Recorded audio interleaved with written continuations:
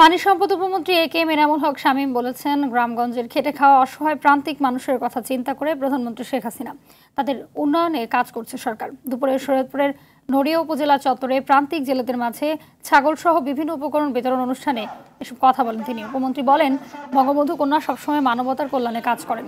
জেলা পরিষদের প্রধান নির্বাহী শেখ রাশেদুজ্জামান, উপজেলা নির্বাহী কর্মকর্তা শঙ্কর চন্দ্র বৈদ্য ও জেলা মৎস্য কর্মকর্তা আমিনুল হক সহ কর্মকর্তারা এই সময় উপস্থিত ছিলেন। এবং সেই সাথে ছড়িয়ে দিই যেন সারা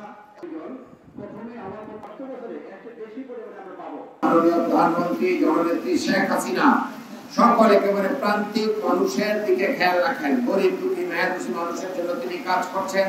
সেই কারণেই এই মৎস্য প্রাণী সম্পদ মন্ত্রণালয়ের মাধ্যমে আজকে ছাগল বিতরণ কর্মসূচি হচ্ছে।